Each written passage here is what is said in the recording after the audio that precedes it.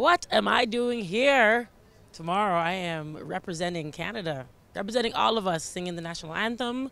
How does it feel to be singing the national anthem tomorrow? It feels very, um, I'm proud. I feel very proud.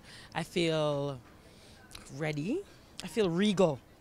Well, I am from Toronto, Ontario. My favorite thing about Toronto, I would say the being able to stand on the street corner and see people from all over the world. Like if you just take the, a moment to stop and look to your right and to your left, you'll probably it's like the United Colors of Benetton. My favorite other city in Canada is Montreal.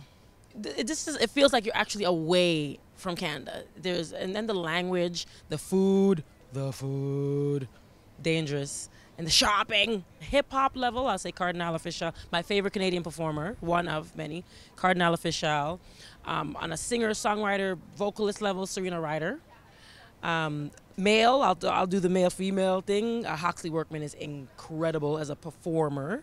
And I'm going to throw back to the rodeo, man, to the Blue Rodeo, and uh, go Jim Cuddy.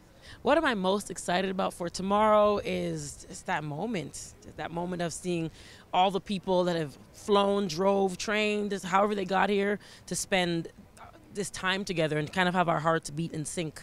It's going to be a great moment.